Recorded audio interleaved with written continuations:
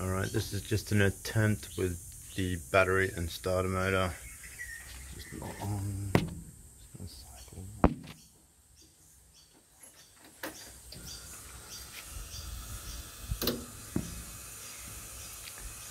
It's on, everything's directly connected. There's a spark plug. There's the ignition box.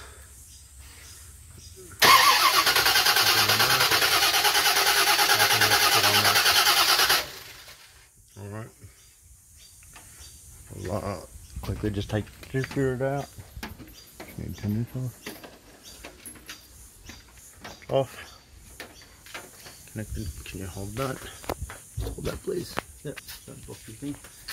Right. You just got to film on this.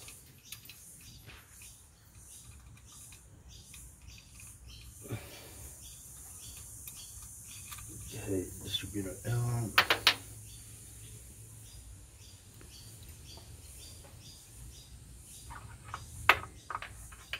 Alright, hold a second.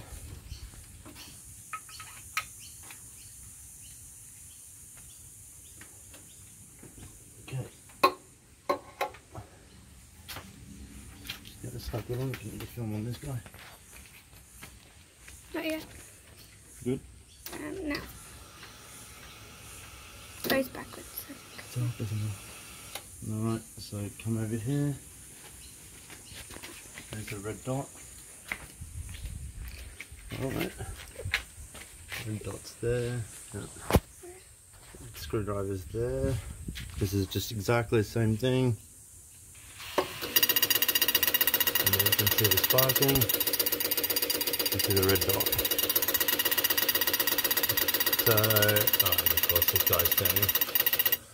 Oh, wait.